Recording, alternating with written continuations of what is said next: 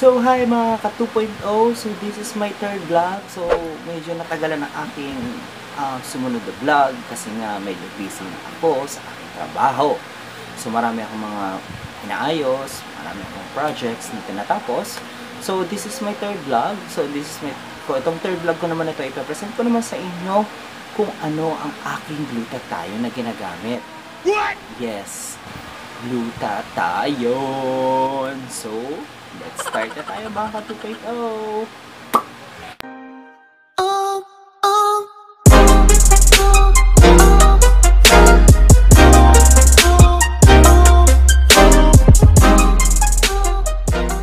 So, ano nga ba ang aking glutathione na ginagamit? ba? So, maraming yung mga sinilabasan ng mga glutathione. Meron tayong mga branded sa abroad, local, pero depende pa rin yan sa ginagamit natin ng glutathione kung paano ito i-epekto sa ating katawan. At unang-una na ngayon at sikat na sikat na glutathione ay ang New White. Yes, What? New White. Ayan siya. Mga, mga matupoy ito. Ah, ah, di ba? Ang ganda ng box. Yes. Okay. So, sa box na to, syempre nandito yung butter natin na nagkakalaman ng 30 capsules. Then, basahin ko muna sa inyo kung ano yung mga content nito. So, sy- syempre sa unahan niya, makikita mo yung new white. Yes, kulay pink. Then, may silver siya, ba? By the way, this is uh, manufactured by Oxina and made in Philippines. So, sabi nga nila, wala pa raw ngayon itong mga peke na lumalabas. Not unlike kung sa ibang brand, meron namang silabas ng mga peking, mga glutathione. Pero, sa ngayon daw is wala pa. Malalaman natin pagtagal ng panahon. ba? Tapos, makikita niyo expiration date dito. Ayan, may expiration date dyan. Tapos, sumunod ay mga nutrition facts. Ayan, dito yung mga nutrition facts. Puta tayo na to. Ang next naman ay yung ingredients.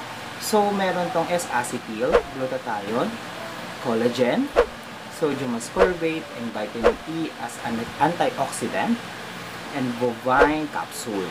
So, ano nga ba S-acetyl glutathione? So, sabi ng ibang, S-acetyl glutathione ay siya yung pinaka parang um, kung meron man tayong push na glutathione, which is yung ini-inject sa ating mga sa ating mga veins, meron naman din tayong uh, gluta IV, di ba? So, para siya kapares ng gluta IV. At hindi nga lang siya ganun ka, ka sobrang effective agad-agad kasi may iba nga ang dosage ng gluta IV. Not like dito sa ano na to, sa capsule lang, 'di ba? Syempre meron lang tong 500 milligrams. So, and then, tong S-acetyl na glutathione na ito, this is, ito yung pinaka mas ah, na-absorb ng ating katawan. Ibang glutathione, di ba? May mga iba-iba tayong klase ng glutathione. Pero itong ah, S-acetyl glutathione na to is more effective not other like sa mga ibang glutathione. So, si S-acetyl glutathione, siya nagbibigay, nagpupuntos sa atin ng mga ah, mas lalong mag-boost ng glutathione sa ating katawan. Then, maaari din siyang gamitin, kuwari, um, nagbilad ka sa araw. So, sabi nga ng iba, sa, sa, sabi sa ibang review, na itong glutathione nga daw na ito, once na nagbilad ka sa araw, kuwari, pumuti ka na, pumusyaw ka na, tapos nabilad, nabilad ka sa araw, sorry, nabilad ka sa araw. So, mga ilang days lang, mababawi niya agad yung kaputian mo na binigay niya sa'yo. Hindi katulad ng ibang glutathione kasi mas matagal ang epekto. Siguro it takes um, 2 months or 3 months. Siyempre, dati nag-take na rin ako ng glutathione. Nag-take ako ng Snow Cups naman. Si Snow Cups, tumagal naman siya sa akin bago ko makita yung effect niya after 4 or 5 uh, months. Diba? Siyempre, depende pa rin yan kung minsan, siyempre, kung nasa bilad ka na araw, eh kung lagi ka naman sa aircon, siyempre, eh, epekto naman yung glutathione sa katawan niyo. So, dahil may S-acetylglutathione na tayo, kagandahan sa kanya is may collagen, which is yung mga ginagamit ng mga Koreano. Hindi naman sila mahilig magpuputi. Kundi, ang kailangan na lang nila is collagen, papakinis ng balat, diba? Para anti-aging, yan, collagen. Tapos, sodium ascorbate. Itong sodium ascorbate is parang ah, kapalit niya. Katulad, di ba, mayroon tayong ano, ascorbic acid. So, mga, acidic, bawal ang mga ascorbic acid na vitamin C. Ha? Note nyo yun, guys. Bawal ang ascorbic acid sa mga acidic. Okay, remember nyo yun. So, kung kailangan nyo naman ng vitamin C, pwede kayong bumili sa mga uh, drugstore. Paghanap kayo, pwede kayong bumili doon ng mga sodium ascorbate. Yun yung katuwang niya, parang kapalit niya. Diba, instead ng ascorbic acid. Kasi mas lalo kayo magiging acidic. So, then meron din siyang vitamin E. Yan, may vitamin, ayan, ayan, ayan, vitamin E. So, syempre, diba, uh, alam mo na, pampabata, so kailangan natin yan, kahit na mukha ka ng stress, di ba? Pero syempre, kahit na, sorry, kahit na stress ka na, hindi ka pa rin mukhang stress. Lagi ka pa rin fresh. So, itong lutataya na to, ay ginagamit ko pa lang sa loob ng apat na araw. Yes, mga 2.0, apat na araw pa lang. Pero syempre, yung sa una kong paggamit nito, nakaramdam ako ng medyo pagka, ano masasabi ko? nakaramdam ako na medyo manichan ko. What? Siguro, siguro sa ano nga naman talaga, syempre, nag-adjust pa yung katawan natin, di ba, kung paano natin, yeah, paano ito i-absorb itong glutathione na to. Then, sa second day ko naman ito, nakaramdam ako ng tusok-tusok at parang tinutusok yung balat ko. Di ba? Pero sabi nila, kung basta makaramdam ka naman daw ng ganon, is effective nga daw ang glutathione sa katawan mo. So, syempre, siguro, pagtagal, malalaman natin kung ano yung resulta. For the meantime, i iano ko lang muna sa inyo yung pang-apat na araw ko pa lang na paggamit. So, pakita ko naman sa inyo yung kanyang bote or yung bottle niya at kung ano yung nilalaman niya. So, ito na nga guys, ito na yung bote niya. Ayan, yung nasa loob ng box. Kaparehas lang din siya yung nasa um, pinaka front ng box niya na meron nakalagay na new white tapos may silver din. So, maganda siya, sobra. Ano yung mukha siyang malinis tignan. Not other like yung sa mga ibang glutathione na. Pero some of the glutathione naman kasi is nakaganito rin. Na yung mga brand ng Ishigaki, uh, ano pa ba, mm, Lux White, yan. Mga nakaganito rin sila. Pero kasi snow caps, nasa blister siya. So, so ba hindi siya madaling magmo-moist. Pero ito naman sa loob nito, meron naman siyang parang tawag ba dito? Ah, ito oh, yan, ano yan, yan, yan. Hindi ko alam kung tawag dyan, pero in a way, parang hindi siya mag-moist kagad. Okay? So, yan. Ganon din. Meron din siyang nakalagay din dito yung mga indications niya. Ayan, kung makikita nyo. Okay. Ayan, hindi ko ma-focus. Ayan, medyo mahirap. Ayan si Oxina. Ayan. Tapos sa loob niya, papakita ko sa inyo kung ano itsura ng capsule niya. Ito ang kulay ng capsule niya. Kulay pink. Di ba? Ang lakas mga babae. Ewan ko ba't kulay pink. Diba? Pero kung aamoy mo naman siya, wala naman siyang amoy. Hindi ko tulad yung magluta tayo na may amoy talaga.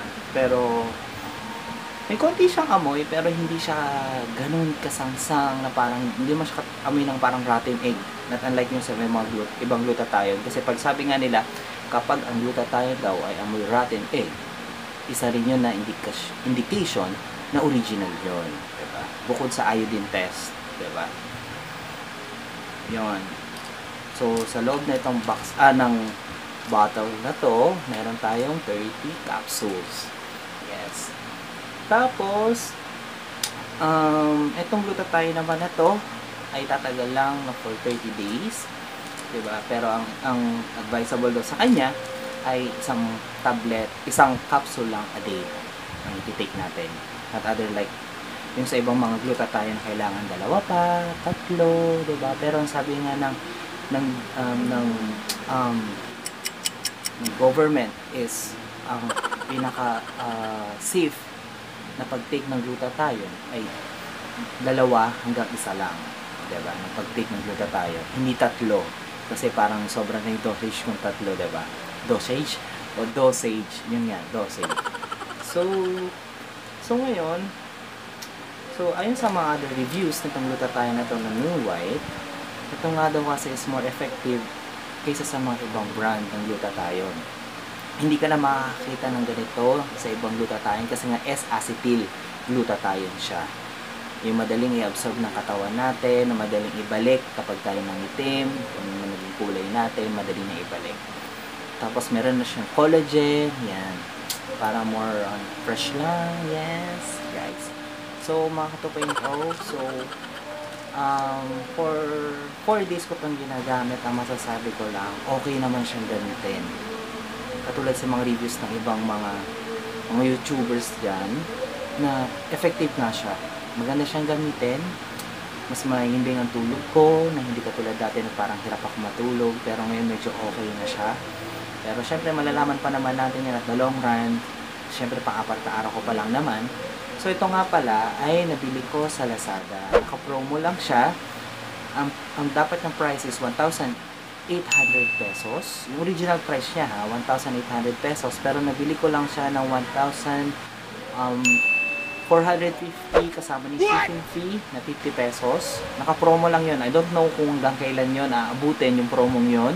Pero um, ilalagay ko sa sa description box below kung saan ko siya nabili, kung anong uh, kung saan part ng Lazada ko siya nabili para if ever na gusto niyo i-try, kasi sayang naman ang promo nito. So, i-try niyo na lang, then kayo na bahala, ba? Pero laging tandaan na hindi lahat na, ng gumagamit ng glutathione ay kaparehas ng mga nangyayari rin sa akin, sa iba, ganun. Siyempre, iba pa rin ang mga dosage ng katawan natin. Hindi mo yan masasabi na porket nag-take ka lang siguro 2 to 3 days feeling mo gusto mo na pumuti. Hihinto mo na hindi ganon guys. Hindi ganon mga ka 2.0 so kailangan nyo ng patience diba? Sabi ko nila patience is a virtue so kailangan siguro mga 2 months, 3 months dyan dyan nyo naman kita talaga yung totally nakagandahan ng glutathione sa katawan nyo tsaka sa mga kailangan ng mga yan sa mga bisina tao, yan, madalas pa ka sa labas.